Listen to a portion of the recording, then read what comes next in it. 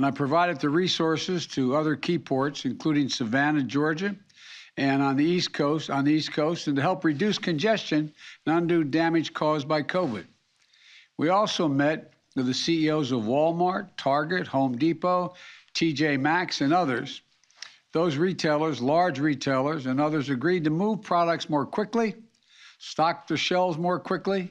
And by the way, you may have heard the CEO of Walmart yesterday on the steps we've taken. He said, and I quote, the combination of private enterprise and government working together has been really successful. He went on to say, all the way through the supply chain, there's a lot of innovation.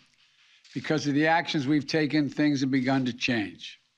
End of quote. In the past three weeks, the number of containers sitting on docks blocking movement are down by 33%. Taken, things have begun to change. End of quote. In the past three weeks, the number of containers sitting on docks blocking movement are down by 33%.